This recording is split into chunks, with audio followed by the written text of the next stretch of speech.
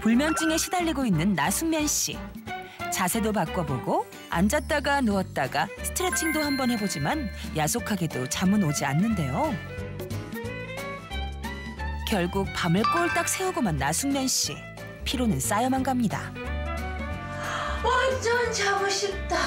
아 이대로 안 돼. 이대로 절대 안 되겠어. 봄철 꿀잠을 위한 특급 비법 알려드립니다. 첫 번째, 숙면 지압법.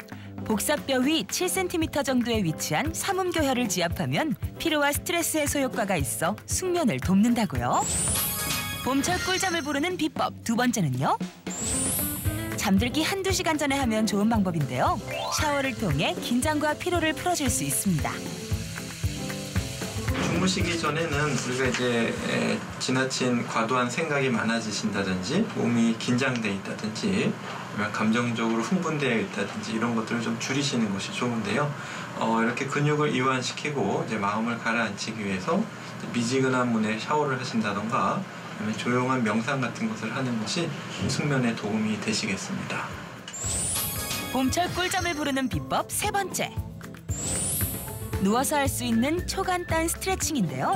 숨을 내쉬면서 호흡에 맞춰 몸의 모든 근육의 긴장감을 풀어주는 방법입니다. 팔은 위쪽으로, 다리는 아래쪽으로 최대한 늘려주는 것이 중요합니다. 제대로 눕기만 해도 잠의 질이 달라진다는데요. 손바닥이 하늘을 향하게 두고 머리부터 발가락까지 순서대로 힘을 빼면서 전신에 편안한 이완감을 주면 몸과 마음까지 편안해진다는데요. 해보시니까 어떠세요? 어, 진짜 편안하게 진짜 잠이 잘 올 것 같아요. 그리고 좀 전에 저 진짜 잠들 뻔했어요. 반면 삼가야 할 나쁜 습관도 있습니다. 밤에 못 잔 잠을 낮잠으로 보충하는 것과 잠들기 네다섯 시간 전에 카페인이 든 음료를 마시는 것. 그리고 잠들기 직전에 스마트폰을 사용하는 것은 숙면을 방해하는 행동인데요. 또한 잠들기 전 운동은 오히려 몸을 피곤하게 만들기 때문에 최소 3시간 전에 하는 것이 좋습니다. 숙면을 부르는 특급 비법으로 오늘 밤 꿀잠 자보는 건 어떨까요?